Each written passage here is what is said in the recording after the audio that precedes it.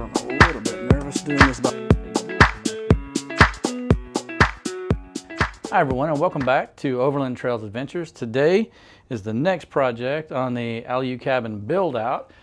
Um, we're going to solve one of our long-standing problems of running out of power while we're at camp, uh, batteries running low, things being, um, you know, not being powered up as much as we need them to, or sustaining power with, you know, the refrigerator, camera batteries, drone batteries, you know, being able to power lights, you know, throughout a, maybe a day or two stay.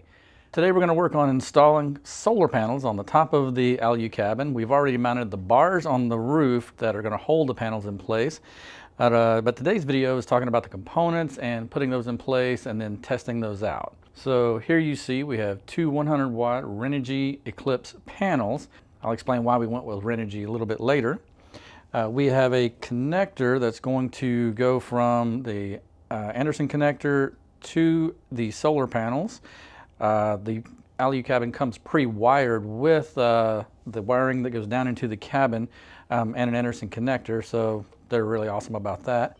From here, we're going to use these two Y splitters.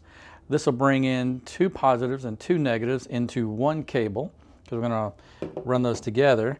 And these are the brackets that we're going to use to mount them to the roof, or to the roof panel, uh, the bars. Let's dig in. Hopefully it'll warm up because it's a chilly day in Texas. And once we get all of this installed on the roof, I'll take you inside the Alu cabin to show you how we wired in um, the power from the solar panels through the pre-wiring uh, into cabling inside to the Manager 30 where it charges the batteries.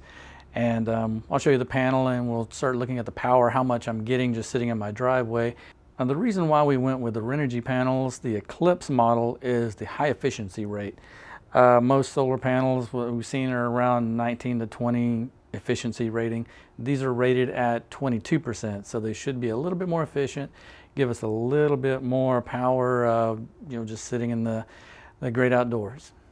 Okay, to do the brackets on the solar panel, you're going to need a 10 millimeter, 10 millimeter wrench and a 10 millimeter socket. You can use two wrenches or whatever, but you're going to need the wrench to get up under here to be able to hold the bolt and tighten it in.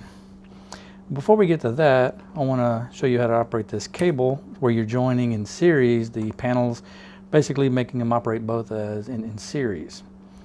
With the connector, you're able to take your negative and your positive and connect those and create a dual connector. All of this you can get from the Renogy website. This is going to allow me to connect two positives and two negatives to the system. Now, the way these brackets work is these are the ones designed for just general use, um, usually house use. We're going to have to drill a hole through the center of this or use one of these holes on the outside. I prefer one in the middle to gain some stability uh, to mount them to the rails on the top of the Alu cabin because it uses a rail system where we're going to have to put this in parallel with the rail and where we can slide it back and forth however we need to. Now to mount this to this takes the short nuts that come in the pack with a nut as well as a spring nut and a washer. You're going to take the nut, put it in the bracket, take the spring washer, put the spring washer on and put the spacer on. And then while you're holding that, screw the nut on. Once again, we're going to have to drill a hole through here so the nut and the, and the groove on top can hold these panels in place. There'll be four of these on each corner. Alrighty, up here on the roof of the cabin, we've got to reposition these bars here, so we got to undo them and it's got to slide about eight inches up. And then we'll adjust the next one. I think it's 27 inches from center to center to match the brackets. Alrighty guys, we got the brackets on in all four corners. You can see what it looks like here with these brackets. And you can see they're attached to the aluminum frame facing down, so they'll be able to bolt up to the uh, crossbars fairly easy. I still have to drill the holes to make sure that we can line them up up top. It may not look like it, but I am running out of daylight, so I'm going to continue the rest of this project of mounting these things up there tomorrow.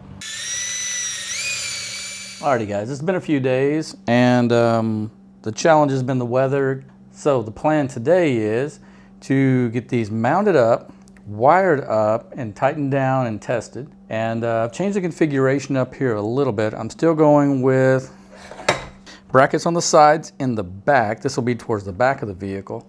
But I've put the brackets instead of being on the side here in the front of the vehicle to being in the front of the panel itself. Now what this is going to do is allow the leading edge here to deflect a little more wind and also um, kind of give it more leading edge strength. So the wind, when it's hitting underneath this, it's not going to try to lift it or tear it up or something like that, and maybe even deflect if something hits it here, deflect it a little bit more.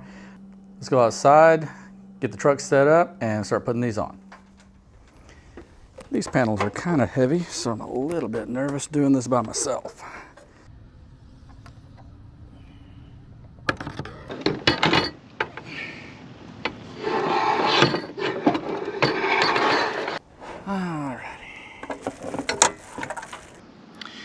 Okay, so as you can see from my bolts, I'm gonna go with, these are number eight uh, M bolts with a good washer and a lock washer and I am doing a threaded lock nut to be able to really get this tightened down where I feel okay driving 80 miles an hour down the road with these things. I'm gonna try to secure them as best I can.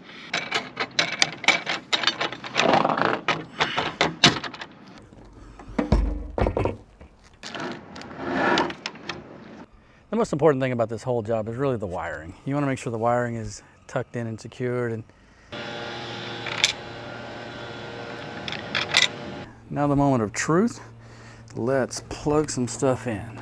I've got the inside Anderson connector to the system disconnected. I'm gonna go ahead and connect this one here. That way it's,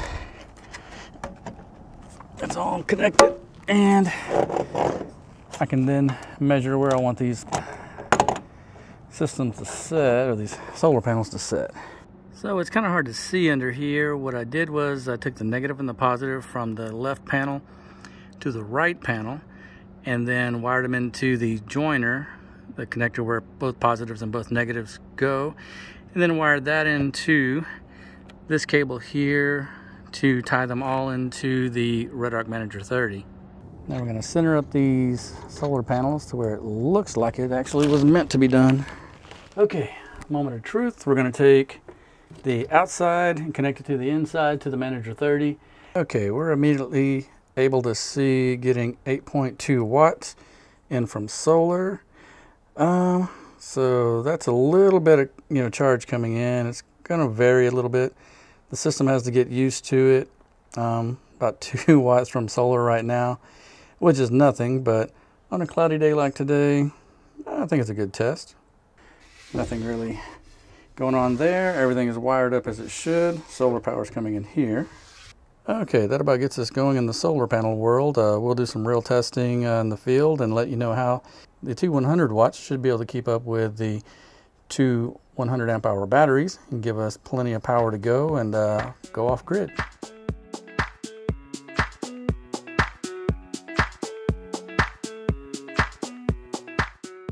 Okay, that about wraps it up for the solar panel project. Next project is going to be uh, the Alucab water tank. So uh, stay tuned for that. Um, hit the subscribe button. You'll be notified of that next video coming out.